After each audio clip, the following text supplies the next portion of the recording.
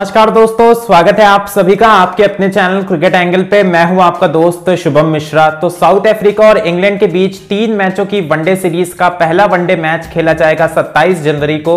मैनगोंग Oval Bloemfontein में Indian time के हिसाब से शाम के साढ़े चार बजे से, यानी कि 4:30 पीएम से। तो आज की इस वीडियो में, इस पहले वनडे मैच के लिए मैनगोंग ओवल ब्लूम फाउंटेन की पिच रिपोर्ट का कंप्लीट एनालिसिस करने वाला हूँ।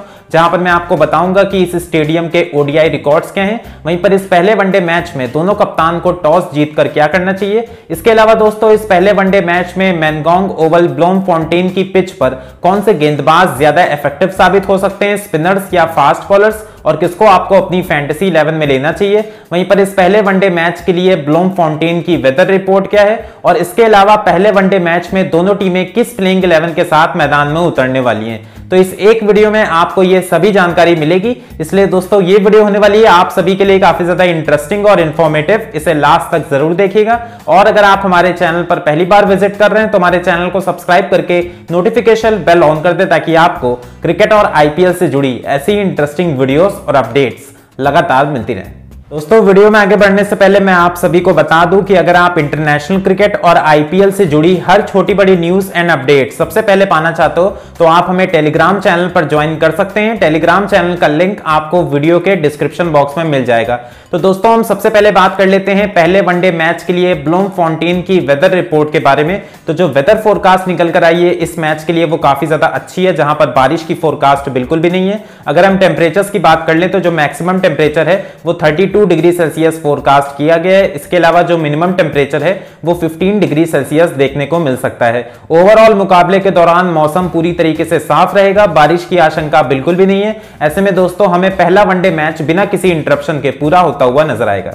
अब दोस्तों, हम बात कर लेते हैं फ़र्स्ट ओडीआई मैच के लिए मैनगोंग ओवल ब्लोम फाउंटेन की पिच रिपोर्ट के बारे में। तो अगर हम ओवरऑल ओडीआई मैचेस की बात कर लें, जो कि इस मैदान पर खेले गए हैं तो इस मैदान पर अभी तक टोटल 31 ओडीआई मैचेस हो चुके हैं। फ़र्स्ट इनिंग्स में बैटिंग करने वाली टीम ने 13 मैचेस जीते हैं, जबकि सेकंड इनिंग्स में बैटिंग करने वाली टीम ने 16 मैचेस जीते हैं। एक मुकाबले का कोई रिज़ल्ट नहीं निकला था और एक मैच टाई हो गया था। एवरेज फ़र्स्ट इनिंग्स का स्कोर 239 रन का है, जबकि एवरेज सेकंड इनिंग्स का स्कोर 196 रन का रहा है। तो दोस्तों, आप इन ओवरऑल ओडीआई मैचेस के स्टैट से क्लियरली देख सकते हो कि इस पिच पर फ़र्स्ट इनिंग्स में बैटिंग करने में या फिर सेकंड इनिंग्स में बैटिंग करने में कोई ज़्यादा डिफरेंस नहीं है। इसी वजह से दोनों टीमों ने लगभग इक्वल नंबर ऑफ़ मैचेस ही जीते हुए हैं, क्योंकि जो मैनगोंग ओवल ब्लोम फाउंटेन की पिच है, वो एक काफ़ी स्पोर्टिंग विकेट है। यहाँ पर गेंदबाज और बल्लेबाज दोनों को काफ़ी मदद मिलती है।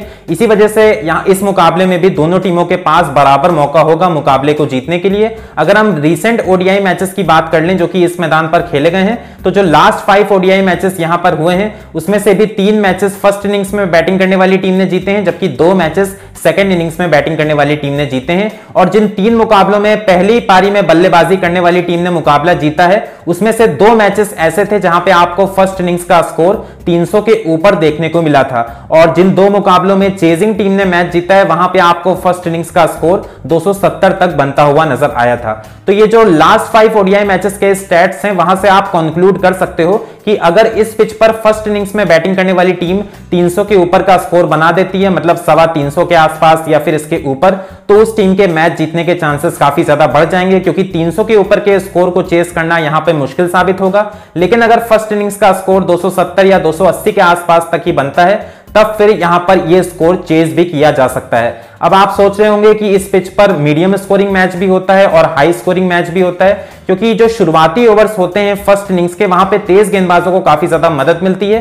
तो जब फ़र्स्ट इनिंग्स में बैटिंग करने वाली टीम पावर प्ले ओवर्स में तीन चार विकेट्स गवा देती है तो उस केस में यहाँ पे ज़्यादा बड़ा स्कोर पहली पारी में देखने को नहीं मिलता है। तब फिर फ़र्स्ट इनिंग्स का जो स्कोर है, वो 260 या 270 तक ही रह जाता है। लेकिन अगर पावर प्ले ओवर्स में फ़र्स्ट इनिंग्स में बैटिंग करने वाली टीम एक या दो विकेट ही गवाती है, तब आपको जो पहली पारी का स्कोर है, वो सवा तीन या 350 तक भी देखने को मिल सकता है। क्योंकि पावर प्ले ओवर्स के बाद इस पिच पर बल्लेबाजी करना काफ़ी आसान साबित होता है। इसके अलावा अगर हम बात कर लें इस मैदान के ओवरऑल ओडीआई मैचेस के कुछ रिकॉर्ड्स की तो जो हाईएस्ट टोटल यहाँ पर बना है वो इंग्लैंड का है साउथ अफ्रीका के खिलाफ। 399 runs for the loss of 9 wickets lowest total Zimbabwe का है साउथ अफ्रीका के खिलाफ 78 ऑल आउट हाईएस्ट टोटल जो चेस हुआ है वो साउथ अफ्रीका ने किया है, ऑस्ट्रेलिया के खिलाफ। 274 runs for the loss of 4 wickets lowest total जो डिफेंड हुआ है वो ऑस्ट्रेलिया ने किया है साउथ अफ्रीका के खिलाफ। 203 रन 6 विकेट के नुकसान पर।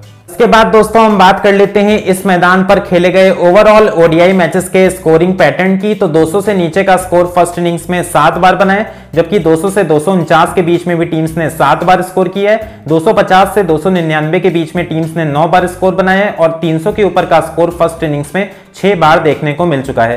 तो ये जो ओवरऑल ओडीआई मैचेस के स्कोरिंग पैटर्न है, यहाँ से भी आप क्लियरली देख सकते हो कि इस मैदान पर हाई स्कोरिंग मैचेस और मीडियम स्कोरिंग मैचेस दोनों देखने को मिले हैं। जैसे कि मैंने आपको वीडियो में पहले भी बताया था। अब अगर हम बात कर लें टॉस की तो मुझे लगता है कि इस पहले वनडे मैच में जो कप्तान टॉस जीतेगा, वो गेंदबाजी करने का फैसला ले सकता है। हालाँकि इस मैदान पर टॉस का रोल बहुत बड़ा नहीं होगा पिच कंडीशन की वजह से। लेकिन दोस्तों, मुझे लगता है कि दोनों टीमों के पास, क्योंकि स्ट्रॉन्ग बैटिंग लाइनअप मौजूद है, ऐसे में वो बैक करेंगी इस मैदान पर चेस करने के लिए। और अब दोस्तों हम बात कर लेते हैं कि पहले वनडे मैच में मैनगोंग ओवल ब्लॉम फाउंटेन की पिच पर कौन से गेंदबाज ज़्यादा इफ़ेक्टिव साबित हो सकते हैं स्पिनर्स या फास्ट बॉलर्स तो जो लास्ट थ्री ओडीआई मैचेस इस मैदान पर खेले गए हैं, अगर हम उनके रिकॉर्ड्स की बात कर लें तो टोटल 31 विकेट्स फास्ट बॉलर्स ने लिए हैं, जबकि 17 विकेट्स स्पिनर्स को मिले हैं।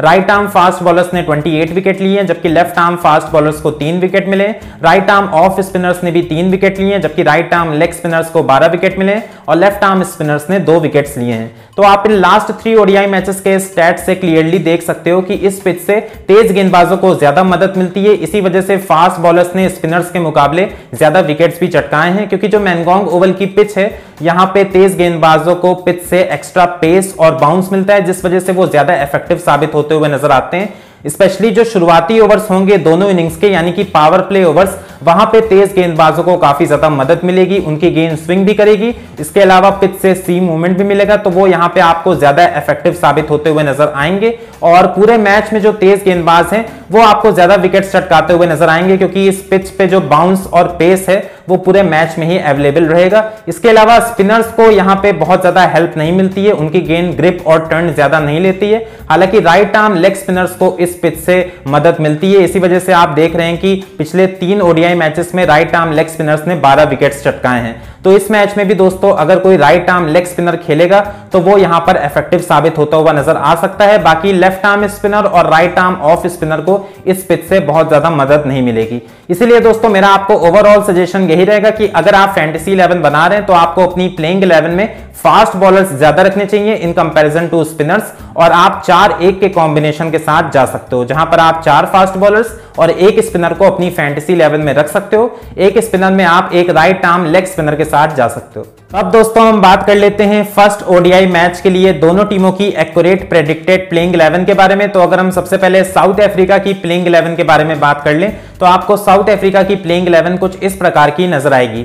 ओपनिंग करते हुए नज़र आएँगे विकेट कीपर क्विंटन डिकॉक के साथ कैप्टन टेम्बा बाबूमा नंबर तीन पर आ सकते हैं राशि वंडर डूसन नंबर चार पर एडन माक्रम नंबर पाँच पर हेनरिक क्लासन नंबर छह पर डेविड मिलर नंबर सात पर मार्को येंसन नंबर आठ पर केशव महाराज नंबर नौ पर केगिसो रबाडा नंबर दस पर एंड्रिक नौकिए और नंबर ग्यारह पर लुंगी एनगिडी आ सकते हैं। के बाद दोस्तों बात कर लेते हैं फ़र्स्ट ओडीआई मैच के लिए इंग्लैंड की प्रेडिक्टेड प्लेइंग 11 के बारे में। तो आपको इंग्लैंड की प्लेइंग 11 कुछ इस प्रकार की नज़र आएगी। ओपनिंग करते हुए नज़र आएँगे फिल सॉल्ट के साथ जेसन रॉय नंबर तीन पर आ सकते हैं डेविड मलान नंबर चार पर हैरी ब्रुक नंबर पाँच पर captain and wicket keeper Jos Buttler number छह पर मोइन अली नंबर सात पर क्रिस वोक्स नंबर आठ पे सैम करन नंबर नौ पर आदिल रशीद नंबर दस पर जोफ्रा आर्चर और नंबर ग्यारह पर रीस टॉपली आ सकते हैं।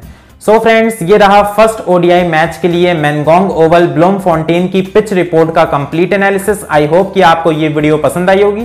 अगर आपको ये वीडियो पसंद आई है तो उसे लाइक करें, अपने दोस्तों के साथ शेयर करें, और आप हमारे चैनल को ज़रूर सब्सक्राइब करें। वहीं पर दोस्तों, आप हमें नीचे कमेंट बॉक्स में ये ज़रूर बताएँ कि पूरा पिच रिपोर्ट का एनालिसिस देखने के बाद आपको किस टीम की प्लेइंग इलेवन ज़्यादा मज़बूत नज़र आ रही है, और आपके हिसाब से कौन सी टीम ये पहला वनडे मैच जीतेगी। इसके अलावा क्रिकेट मैचेस की फैंटेसी प्लेइंग इलेवन और क्रिकेट से जुड़ी हर छोटी बड़ी न्यूज़ एंड अपडेट सबसे पहले पाने के लिए आप हमें टेलीग्राम चैनल पर ज़रूर ज्वाइन कर लें। टेलीग्राम चैनल का लिंक आपको वीडियो के डिस्क्रिप्शन बॉक्स में मिल जाएगा। सो so फ्रेंड्स मिलते हैं आपसे किसी नई और इंटरेस्टिंग वीडियो में। Till then take care stay safe and good bye